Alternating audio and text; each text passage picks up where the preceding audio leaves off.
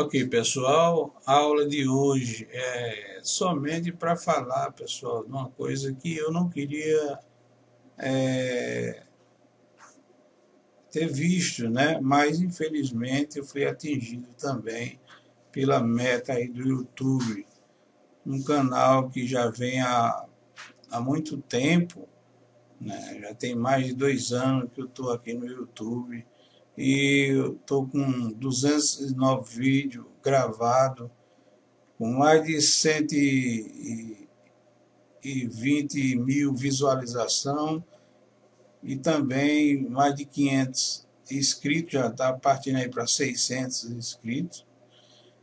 E mesmo assim, pessoal, com tudo isso, nem eu esperava é, ver uma mensagem como eu vi hoje. Então, é, meu canal, a partir do dia 20, vai ser desmonetizado.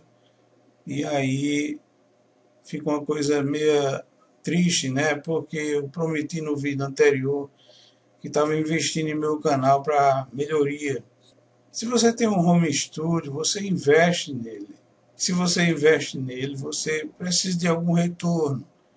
Assim como muitos estão aí é, sobrevivendo do YouTube eu já tinha mais de 16 dólares, mas só pode sacar a partir dos 100 dólares. Nem sequer eu sei mais quantos dólares eu tenho, porque eu não me preocupava com isso, e agora estou preocupado com essa nova meta aí do YouTube, né? Só esse mês agora que eu falei a vocês que ia, é, ia reformar meu estúdio, e só voltaria a gravar em fevereiro. Eu ainda não recebi a placa, a minha interface, pessoal. Eu estou gravando aqui o áudio da webcam, como eu prometi que ia fazer é, vídeo aula com minha imagem. Eu sou de Jalma aqui do SLVD Studio, mas com uma notícia triste dessa, pessoal, eu não sei o que, é que vai acontecer daqui para frente se vale a pena a pessoa continuar ou não, porque o investimento que eu fiz esse mês foi quase dois mil reais entre o controlador, a placa, é, um pop field mais outro microfone e um microfone profissional que está para chegar aí. Vocês não estão vendo aqui meu, meus maquinários porque a câmera está a câmera tá no monitor e aí eu não estou mostrando, somente a, eu estou mostrando a minha pessoa, certo? Eu estou é triste com isso aí, né? E como muitos aí também estão tristes com isso, e eu não sei qual é, é a meta que eu vou seguir daqui para frente.